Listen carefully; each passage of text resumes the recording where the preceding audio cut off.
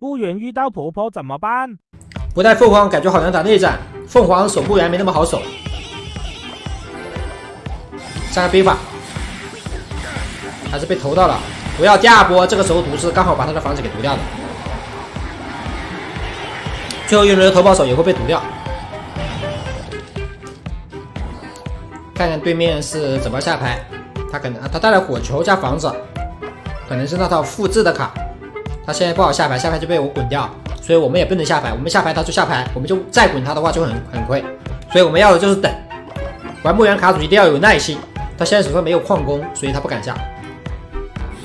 还有小皮卡，我们前面凤凰肯定要补滚筒了。但是滚筒尽量不要让他砍到，因为咬三口是不算一滚筒是够了的。飓风吸过来把他给干掉。他还想保，没保住。兵法，这个时候图是够了的时间。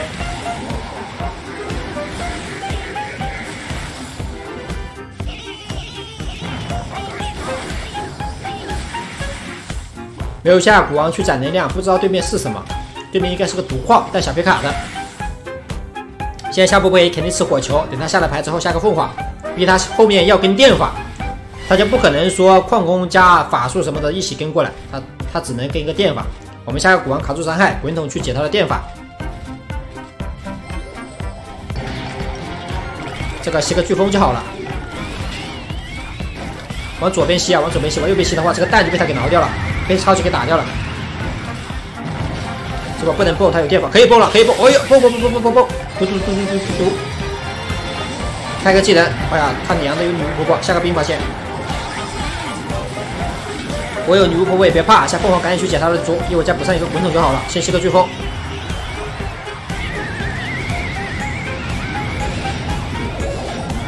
小皮卡会解吗？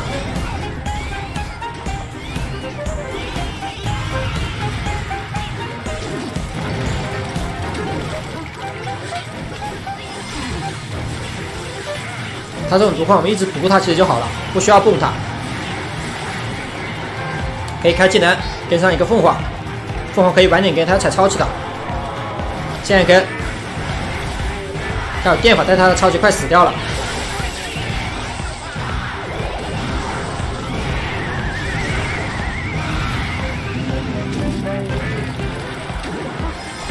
还有火球啊！后期是可以蹦的，三倍蹦迪能打到血。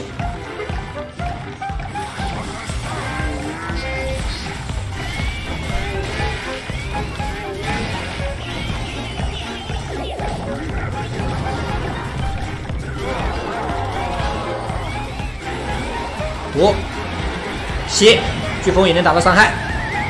五十八也不是开玩笑的，凤凰咬吧。前面下冰法，女冰法会吃火球。现在血量是优势，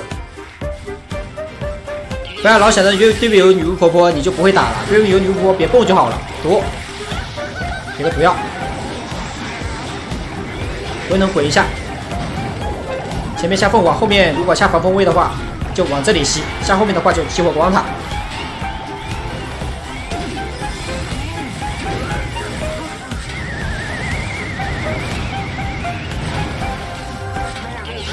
不要来了，这里一个凤凰，再补上一个滚筒啊！这个电法能电到的。千里古王，他要下兵了，差不多，飓风吸一下，不要可以毒，别法下前一点，不吃火球，家里下凤凰，激活光塔，我再一个滚筒，这不可以蹦了。马上到三倍了，啊不是，马上要结束了，结蹦，吸一个飓风，把他的这个快点解掉。